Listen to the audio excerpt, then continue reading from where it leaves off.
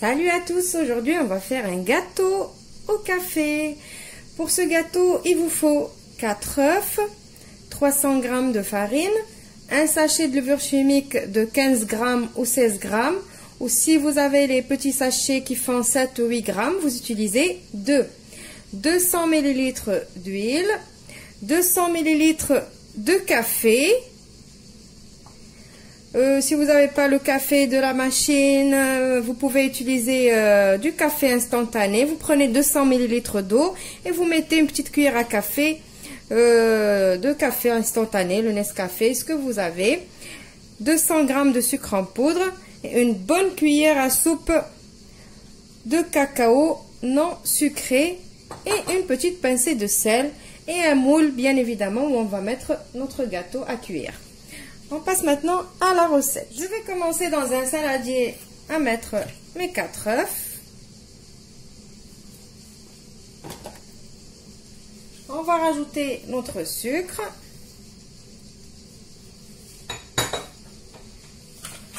Je vais mélanger les œufs avec le sucre.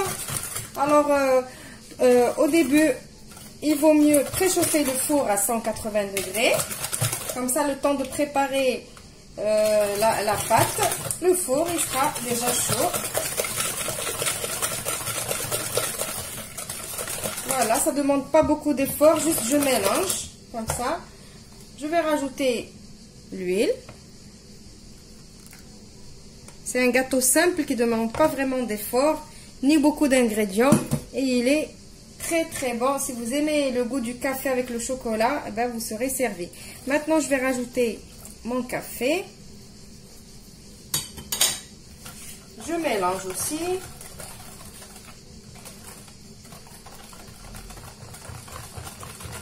Je mélange doucement parce que j'ai pris un petit saladier.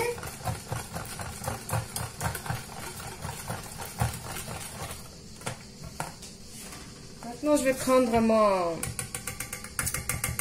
ma passoire, mon tamis.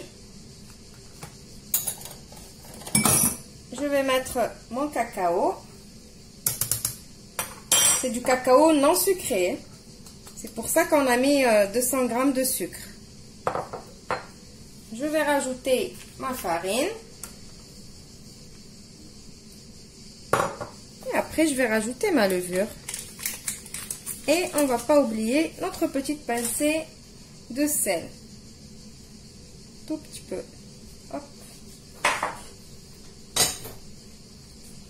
Tamise tout ça.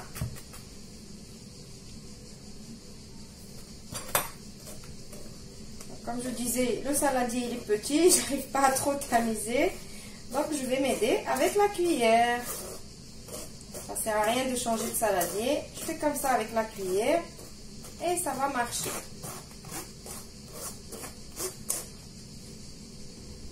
Maintenant, je vais manger bien. Euh, je vais manger.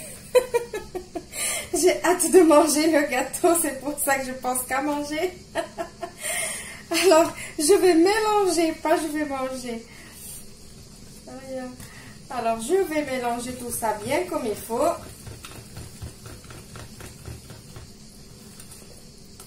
Vraiment, il faut bien mélanger, il ne faut pas de grumeaux. Normalement, on n'aura pas de grumeaux puisqu'on a tamisé la farine. Je mélange bien. Déjà, l'odeur du café voilà la pâte, comment elle doit être. Il n'y a pas de grumeaux du tout. Maintenant, je vais prendre mon moule que j'ai déjà tapissé d'un papier cuisson. Prenez le moule que vous voulez. Et je vais mettre ma pâte dedans.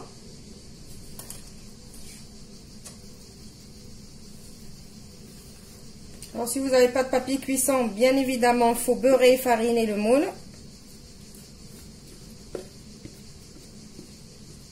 Bon, ici, j'ai pas beurré et fariné les côtés parce que c'est un moule à charnière, donc il s'ouvre, euh, ça ne colle pas.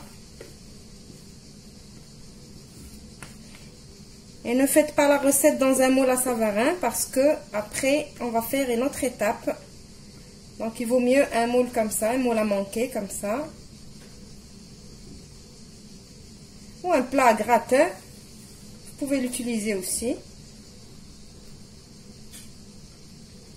Voilà, donc maintenant, je vais mettre mon gâteau à cuire pendant peut-être euh, 40-45 minutes au four à 180 degrés. Et je vous retrouve juste après pour la suite. Alors maintenant que notre gâteau est en train de cuire, on va préparer un petit sirop ou un petit nappage ou appelez-le ce que vous voulez. C'est un nappage ou un sirop avec quoi on va arroser le gâteau quand il va sortir du four. Alors pour ce petit nappage ou sirop, j'aurai besoin encore de 200 ml de café que j'ai déjà mis dans ma petite casserole. 200 ml de café, je disais. Et ici, j'ai besoin de 100 g de chocolat noir. Alors, vous voyez ici que c'est des pépites de chocolat. Bon, euh, c'est pas grave parce que normalement, j'ai besoin de chocolat, de tablettes de chocolat noir, mais j'en ai plus. J'ai des pépites de chocolat, donc je vais les utiliser. Ça va me donner le même résultat puisque c'est du chocolat. Donc, je vais prendre mes 100 g de chocolat noir. Ici, pour moi, c'est des pépites, bien évidemment. Et je vais les mettre dans mon café et je vais aller faire fondre tout ça. Voilà donc mon, sirop ou mon nappage. Mais moi, je crois que c'est plus un sirop qu'un nappage parce que le gâteau, il va l'absorber. Voilà, donc il est prêt. Maintenant, on va le laisser de côté pour, euh, euh, euh, arroser notre gâteau. Donc, normalement, quand on sort le gâteau du four, le sirop, il doit être froid. C'est pour ça qu'on l'a préparé maintenant dès qu'on a mis le gâteau au four.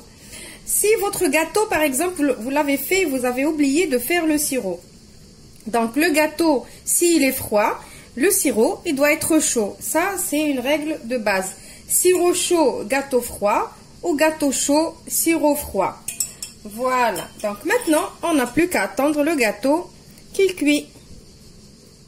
Voilà donc mon gâteau après sa sortie du four. Moi, il m'a pris 40 minutes exactement pour la cuisson. Après, vous surveillez votre four. Euh, mettez la pointe du couteau pour voir si c'est cuit.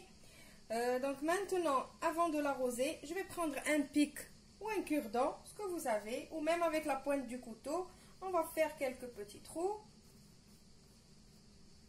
pour juste aider euh, sirop a bien pénétré le gâteau.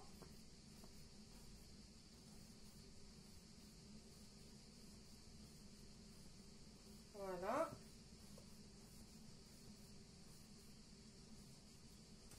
Et maintenant, je vais avec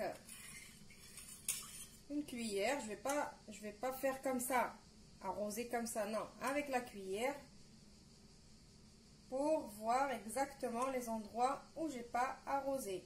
Donc mon sirop il est froid maintenant, mais mon gâteau il est chaud. Donc on arrose de partout.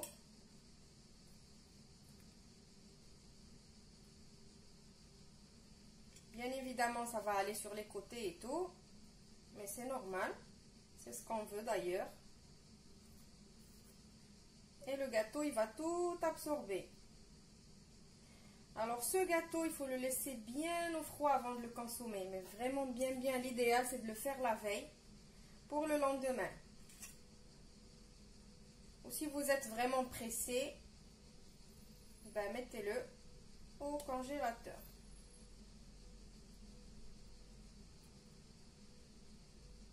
Voilà, donc là je commence à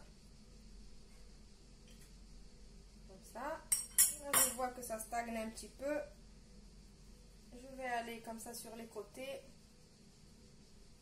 Comme si j'étais en train de décoller mon gâteau en fait. Parce que je ne l'ai pas fait à l'avance. Normalement, je devais le faire. Je décolle mon gâteau. Voilà, vous voyez, là, toute ma sauce est en train de descendre. Voilà. Voilà. Et maintenant, je continue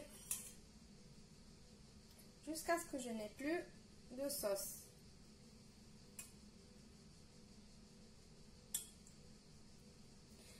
Donc je continue comme ça. Après j'attends que le gâteau refroidisse un petit peu pour le mettre au frais. Et je vous retrouve juste après pour le résultat final. Voici mon gâteau. Après euh, que je l'ai laissé bien refroidir. Voilà, il a bien absorbé mon sirop. Il est vraiment moelleux. Regardez. Dès que j'appuie dessus, il y a du sirop qui sort. Donc, je vais couper un petit bout pour vous montrer.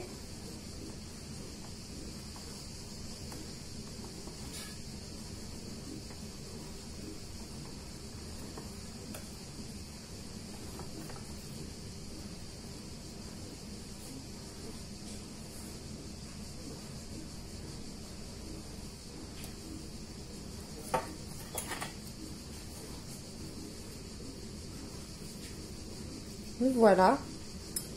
Et encore là, on n'a pas mis vraiment beaucoup de sirop.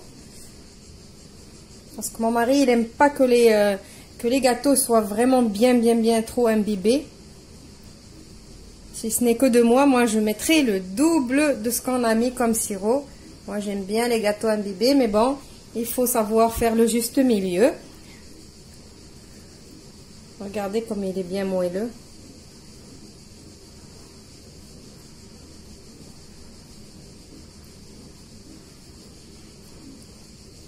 Voilà. Avec un bon petit jus ou un bon petit café ou, même sans rien.